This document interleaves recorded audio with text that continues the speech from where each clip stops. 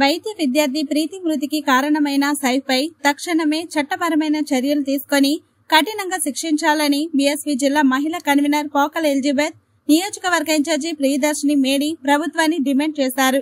వేధింపులు భరించలేక ఆత్మహత్య యత్నానికి పాల్పడి నిమ్స్ ఆసుపత్రిలో ఐదు రోజులుగా మృత్యువుతో పోరాడిన వరంగల్ పీజీ వైద్య విద్యార్థిని దారవతి ప్రీతి మృతి చెందడం పట్ల చిట్యాల మండల కేంద్రంలో బీఎస్పీ మండల కమిటీ ఆధ్వర్యంలో సోమవారం రాత్రి విద్యార్థులు యువకులు కొవ్వొత్తులతో ర్యాలీ నిర్వహించారు. ఈ కార్యక్రమంలో నియోజకవర్గం మహిళా కన్వీనర్ మరి శోభ మండల అధ్యక్షురాలు చొక్కా పూజిత మండల మేడిరాజు బీవీఎఫ్ మండల కన్వీనర్ ఏర్పుల నితిన్ బీఎస్పీ నాయకులు తదితరులు పాల్గొన్నారు.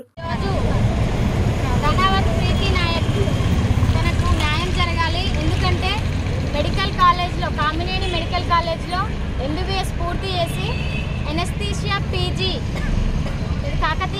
కాలేజ్ వరంగల్లో చేస్తుంది. ఫస్ట్ ఇయర్ చదువుతుంది ప్రీతి.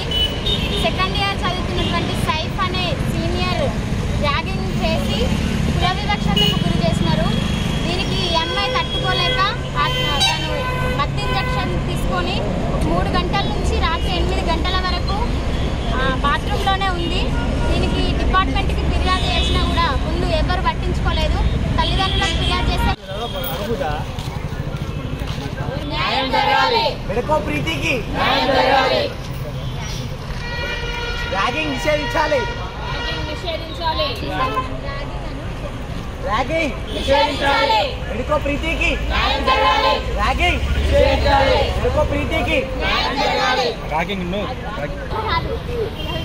ప్రీతికి న్యాయం జరగాలి కుల వివక్షత నశించాలి. కుల వివక్షత నశించాలి. కుల వివక్షత నశించాలి. మెడికో ప్రీతికి న్యాయం జరగాలి.